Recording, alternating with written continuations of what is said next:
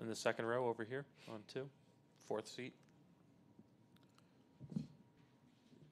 Ty, Jason Lloyd, Akron Beacon Journal. Is if Kevin can't go, is is Timo a possibility? And when you look at the success the Thunder had going big against this team with with Steven Adams and Serge Ibaka, it, it, can that be duplicated with Timo and, and Tristan Thompson? Um, you know, Timo has to be ready. Um, it's a chance, an opportunity for him to play. We've talked about that as the staff, and um, you know, he just has to be ready to play, and um, we'll see what happens from there.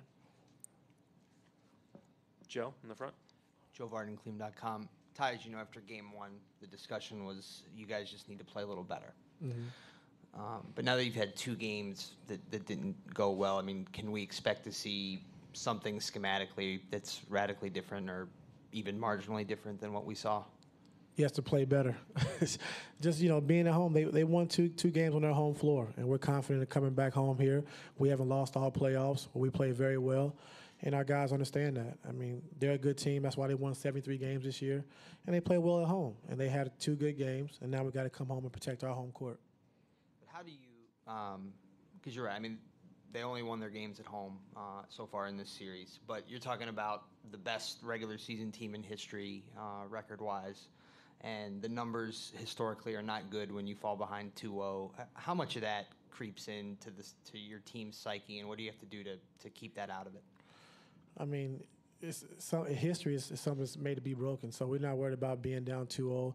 Um, it's not over until the team wins four games, and we know that. And we just got to execute. You know, when we get chances on, on the break to to convert, we got to convert. When we get open shots, we got to take advantage of open shots, and we just can't turn the basketball over like we've been doing. And you know, if they turn the ball over 20 times, which is good, in our home building, we should be fine to get out and run and play with pace. But we're not discouraged. You know, they won two games, and the series is not over until you win four. Jermaine, back left. Jermaine Franklin with TSN. Uh, Coach, uh, how would you assess LeBron's play in the first two games, and what more can he do if there is more he can do? Well, just be aggressive. You know, stay in attack mode, be aggressive, uh, making the right plays like he's done all season. And, you know, we just got to be able to convert in transition. It's not about LeBron. I have to do a better job. Our players have to do a better job. We have to play better. And they understand that, and we will. Over here on the right, Tim. Ty, Tim Reynolds with the AP. To kind of play off Joe's question a little bit more, the numbers were actually, they looked worse for Golden State just a couple weeks ago when they were down 3 1. Do you bring that up with your guys at all, or, you know, today, yesterday, tomorrow, as far as just how quickly a series can change and the whole outlook of a series can change, just as they showed a couple weeks ago? Yes, we talked about it. You know, they were down 3 1. I think they lost um, games three and four in Oklahoma City by 50 some points combined. So, and they came back and just winning one game. You know, when you win one game, it changes the whole series. And they was able to go home and win game five, then win game six in Oklahoma City, and come home for a game seven. So, you know, we're not in that bad of shape as they were. You know, 3 1 is worse than 2 0. And they came back and took it one game at a time, like we have to do. But like I said, we're confident and we're home, and we haven't lost a playoff game here either. So we're going to be ready to play tomorrow. Second row.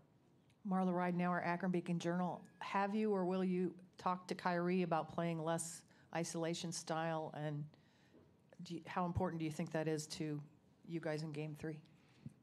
I just talked about talking to Kyrie just about attacking. You know, attacking early on in the shot clock. Don't let the switching, you know, make it stagnant. But he's one of the players that we have on our team that can go one on one because they're switching one through five.